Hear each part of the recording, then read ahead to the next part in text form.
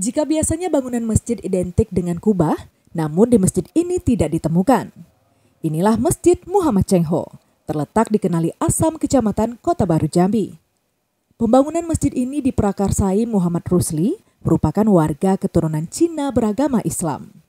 Muhammad Cengho adalah nama seorang utusan kaisar dari dinasti Ming yang membawa dua umat ke Nusantara, yaitu Islam dan Tao.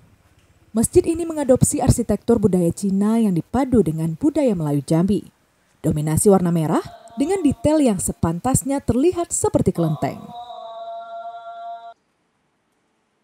Terinspirasi dari mana memberikan nama Muhammad Cheng Ho ini, Bang? Dari seorang ulama yang menyebarkan Islam di Cina.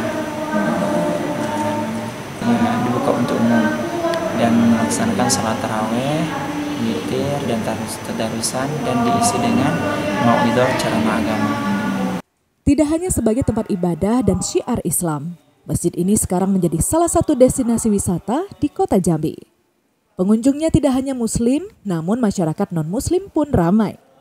Selain tempat beribadah, masjid ini juga kini jadi tempat swafoto warga yang berkunjung.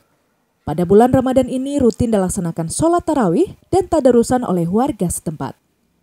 Suci Anissa, Kompas TV Jambi.